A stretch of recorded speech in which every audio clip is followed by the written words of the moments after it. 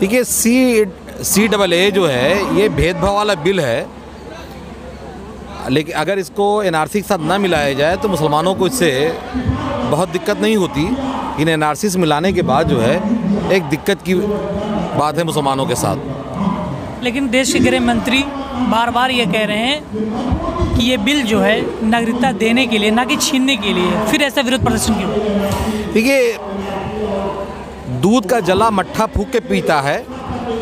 ये सही है कि नागरिकता देने वाला बिल है, ये छीनने वाला बिल नहीं है। मैं गृह मंत्री की इस बात से सहमत हूँ। लेकिन उन्होंने जिस तरह से सीना ठोक के कहा था कि हम एनआरसी लेके आएँगे, इसके बाद एनआरसी लेके आएँगे तो असल जो विरोध है वो एनआरसी का है।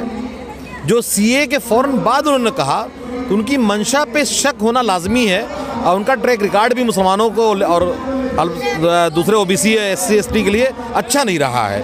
उसकी वजह से डर पैदा हुआ है। C double A N R P और एन आर सी को लेकर पूरे देश में काफ़ी विरोध प्रदर्शन हो रहा है। शाहीन बाग आजमगढ़ चाहे लखनऊ का घंटा घर हुआ। हर जगह बेंगलोर से लेकर हैदराबाद तक विरोध प्रदर्शन हो रहा है। लेकिन गृह मंत्री जी कह रहे हैं कि हम एक कदम भी पीछे नहीं हटेंगे। देखिए गृह मंत्री का जो अंदाज है वो गुंडई वाला अंदाज है कि जान दे देंगे पीछे नहीं हटेंगे। उनकी ये बात डेमोक्रेटिक होम मिनिस्टर के लिए शोभा नहीं देती है। ये बहुत ही गलत तरीके से उन्होंने ये बात कही कि हम पीछे नहीं हटेंगे। डेमोक्रेसी में आगे पीछे होया जाता है और ये भाषा गुंडई की भाषा है। इसे देश को कबूल नहीं करना चाहिए। आजमगढ़ की जनता यहाँ पे इकट्ठा हुई है पूरे ज़िले से लोग आए हुए हैं पूरा मैदान भरा हुआ है।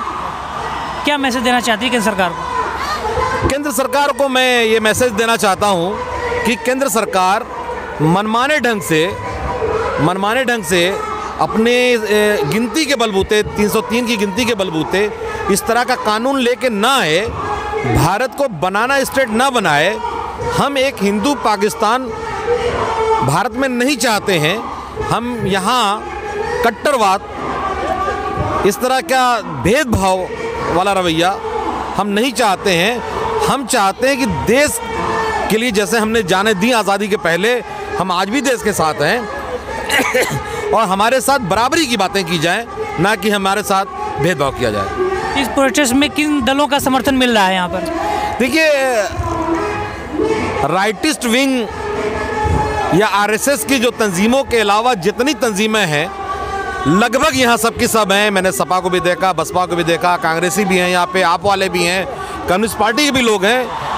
गोया कि सभी ओलमा काउंसिल के लोग हैं, एम के लोग हैं, सारे लोग यहाँ आए हुए हैं। और पहली बार मैं इसको फोकस करना चाहूँगा और आपसे कहूँगा इस बात को हाईलाइट करिए, ये पहली मीटिंग है जहाँ हमारे शहर के मोहल्लों के पसमानदा तबके के लोग जो हिलते नहीं थे, वो लोग भी इस प्रोटेस्ट में शामिल हुए हैं और औरतें जो है अपने आप चल के आई हैं, बुलाई नहीं गई हैं। ये इस मजमे की, इस मीटिंग की सबसे बड़ी खूबसूरती है। कि पहली बार भी लोग आए हैं इस बार इसमें। बहुत बहुत शुक्रिया।